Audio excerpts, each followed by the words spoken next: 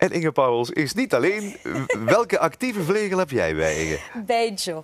Bij Joe. Ja, dat is mijn nieuwe hond. Je nieuwe aanwinst. Ja. Het is wel een schatje. Hij is nogal bijtgraag. Hè? Ja, hij zit in zijn bijtfase. Vandaar Ja. dat we eh, hulpstukken hebben meegebracht. Dames en heren, we hopen nog te leven over eh, twee minuten in deze rubriek. Eh, maar bij Joe, hoe kom je aan die mooie naam van hem? Bij Joe's kus in Portugees. En ik kwam net terug van Brazilië toen, hij, toen ik hem in het asiel heb ontdekt. Want hij is in het asiel geboren. Echt waar? Ja, zijn mama was eh, gedropt in het asiel toen ze zwanger was. En hij is daar geboren. En eh, voilà. En toen zat ik toch in mijn Portuge Portugese moed. Dus Ja, eh, voilà, ja. vandaar. En je dacht, voilà, de liefde voor onze nieuwe viervoeter. Hè? Ja, dan begint het natuurlijk met de pubtraining, denk ik. Hè? Ja, en dat is niet te onderschatten, hè, want ik Nee. zit dat wel altijd tegen iedereen te vertellen. Maar dan had ik toch wel als Rijko, en die was bijna 11 jaar oud. En dan ben je toch wel... Allee, Dat is een volautomatisch hondje. Hè? Ja, dan schrik je toch wel van eh, de nieuwe dingen die je toch allemaal moet gaan toepassen, die vanzelfsprekend waren daarvoor. Ja, voilà. Ja, ik moet zeggen, hij, hij durft al af en toe naar onze Van Grootloontaart eh, te happen. En dan moet het telkens gecorrigeerd worden. Wat is zo de gouden raad als mensen een pup in huis halen? Wat moet je zo zeker opletten? Niet te veel verwachten in het begin. Geduld hebben. Geduld hebben en echt stap per stap gaan. Ik merk bij mezelf dat je echt van nul moet beginnen en gewoon heel veel tijd nemen om alles op te bouwen. Want eigenlijk, ze spreken geen Nederlands, ze spreken geen Vlaams. Dus ze moeten een heel nieuwe taal aanleren. Wij zitten daar wel op te roepen, nee, mag niet, foei, weet ik veel wat. Maar dat kennen zij helemaal niet. Hè? Iedere mens doet andere gebaren en zij gaan direct associaties leggen, denk ik. Hè? Ja, Zo. maar het is belangrijk dat je leert wat dat je met dat woord bedoelt. Dus als je zegt nee, dat je dat aangeeft van dat is wat nee eigenlijk wil zeggen in het Nederlands in jouw taal. Ik zie heel veel mensen die gebruiken zo allerlei woorden dan maar door elkaar. Het is belangrijk dat je het ook consequent Ja, doet. Hè? altijd hetzelfde woordje, hetzelfde commando. Dit bijvoorbeeld is zetel. En in principe pootjes Dus- dus erop. hij doet het al je? heel goed, dames en heren. Ja, nee, nee. Maar als je... Kijk, pootjes. Weet je? Pootjes. Voilà. Pootjes. Pootjes. En de rest helpen de- we dan. Want ook hij als is nog hij, te klein ook om als te hij 50 springen kilo natuurlijk. is. Ja.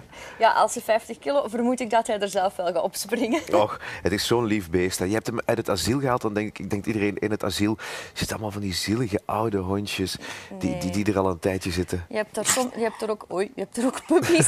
je hebt daar ook eh, jongere hondjes, ehm, zoals je ziet. Dus nee, in asiel kan je echt heel leuke eh, beestjes. En ook niet altijd met gedragsproblemen. Mensen denken altijd dat er heel veel gedragsproblemen zitten, maar dat is zeker niet het geval. Nee, ja, ik moet zeggen, je moet ook, ik ben onlangs naar het asiel geweest. Ik ben ook Peter daar van de, Ja. van de oudere honden. Want ja, Ja. er zitten beestjes die er al jaren zitten. Ja. En die moeten natuurlijk ook eten en die hebben ook verzorging nodig. En dan denk ik van, goh, mensen, ga toch zeker eens kijken. Want je wordt Ja. ook goed gescreend in een asiel, heb ik de ja, indruk. ja, hè? tuurlijk. En heel, de, heel veel asielen werken ook met ons als gedragstherapeuten samen om te kijken van welke hond kan nu het beste bij welk gezin geplaatst worden. Dus eh, je wordt echt wel begeleid in de meeste asielen. Waar, waarom jouw keuze eigenlijk voor een pup, eh, Inge? Ehm, ja, kijk, het was helemaal niet gepland. Ik volgde eigenlijk de mama op in het asiel, omdat ze had eh, stress, heel veel stress. Dus ze was dan gedumpt en ze was helemaal, dat was haar eerste nestje ook. En dan ehm, ja, word je stilaan verliefd natuurlijk. Je volgt week op week op week, kom je dan die pups tegen, ziet die groeien. En ja, en het is ook eh, natuurlijk, het is een kruising Amerikaanse Stafford, mijn lievelingsras. Ja. Zoals Rijko was, met een Old English Bulldog. En dat is een ras dat ik nog niet zo heel goed ken. Dus het is wel een, een fijne uitdaging ook weer. Ja, ik heb dat ook ooit geschreven. Als je zo de asielhondjes ziet, de mensen thuis hebben ze net, net gezien. Eh, Het grote voordeel is, ja, dit is nu een pup, daar moet je nog veel aan leren. Maar de hondjes die daar al zitten, hè, die wel jaren in een Ja. gezin hebben gewoond, die kennen al Die heel kennen veel. al Die zijn direct zindelijk. Ja, klopt. Hè, dus je haalt eigenlijk een, een full option in huis, hè, als het past, als het klikt Ja, natuurlijk. ja, Zeg. Mhm. vrijdag is het Werelddierendag. Dan gebeurt er echt van alles overal in het land. Hè? overal. eh ja, is heel Zeeland verbouwen. Even een eh, bericht aan onze sponsor, een nieuwe zetel alsjeblieft. nu, het is zo dat ze hij heeft actieve momenten zoals nu. En dan zelfs kan hij gewoon gaan liggen. En dan slaapt hij een paar uur. Nee, Foei, foei. nee is het woord, Björn. Nee. Nee, ja, Voilà. sorry. Geen probleem. Foei is een ander moment, hè? Foeien is, hij kent foeien. Ik gebruik foeien, ik gebruik alleen Nee. nee. Voor alles dat hij niet mag, is het nee. Heel duidelijk, heel kort. Ehm, ja, dus bij Werelddierendag is het fijn wat je allemaal kan beleven in, in het land. En het is zo super dat die dag ook aandacht besteed wordt aan het wellness en, en het welzijn van onze dieren. Dat is nog steeds een belangrijk punt.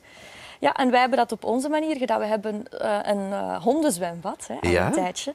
En wij willen uh, graag dat ook in de aandacht brengen, dat je ook met je hond op een veilige manier kan gaan zwemmen.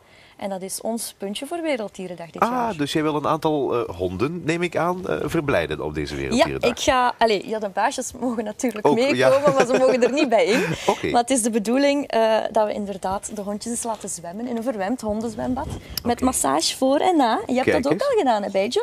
Ja, Als je, als je jouw hond eens wil, wil verwennen, dan weet je waar je terecht kan. tvl.be, klik op Doe mee. En dan mag je bij Inge in het zwembad, het is een speciaal hondenzwembad dat ook voor revalidatie gebruikt wordt. Ja, hè? Dus, voor eh, spieropbouw, revalidaties, inderdaad. Voilà. Voor sporthonden die extra willen trainen. Hè? komt, komt het helemaal goed. En je krijgt er meteen eh, het advies bij van Inge die er zeker rondloopt in het Oscanza Hoeve. hè.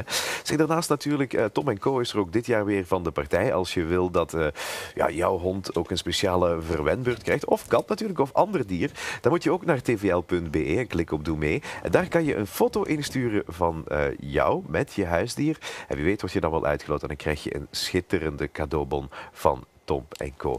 Inge, ik wens je heel veel succes met de lieve schat. hè. Dankjewel. Breng hem zeker nog eens mee bij We ons. gaan hem zeker meebrengen. Maar ik heb nog tal van verhalen die ik allemaal in de zomer heb meegemaakt. Die ik heel graag met jullie wil delen. Ah, wel, dan gaan we die zeker de komende weken verdelen. Dankjewel Inge voor het langskomen. Tot volgende keer. Snuffels in samenwerking met Tom Co.